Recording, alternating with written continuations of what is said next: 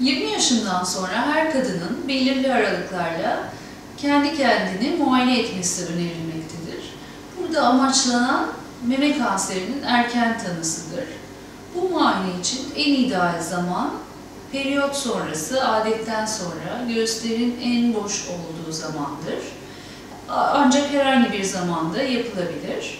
Önemli olan düzenli belirli aralıklarla bu kontrolün sürekli olarak yapılmasıdır.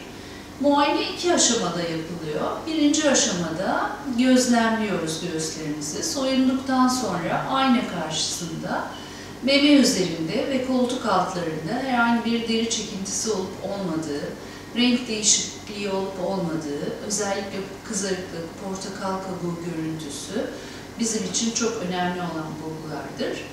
Yine meme başında çekintiler, akıntı, yara, kabuklanma bunlar da son derece önemli bulgulardır. Böyle bir şey fark ettiğimiz zaman mutlaka meme ile ilgilenen bir cerraha ya da doktora müracaat etmek gerekmektedir. Muayenenin ikinci aşaması elle muayenedir. Bu muayeneyi parmaklarımızın iç yüzeyiyle yapıyoruz. Memeyi parmaklar arasında sıkıştırarak yapmıyoruz. Çünkü o zaman normal meme dokusunu kitle gibi hissedebiliriz. Muayene parmakların iç yüzeyini meme üzerine 90 derece bastırarak yapılır.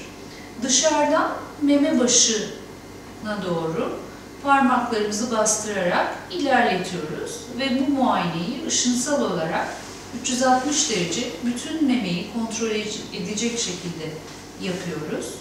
Daha sonra memenin kontrolünü bitirdikten sonra koltuk altlarını yine aynı şekilde kontrol ediyoruz.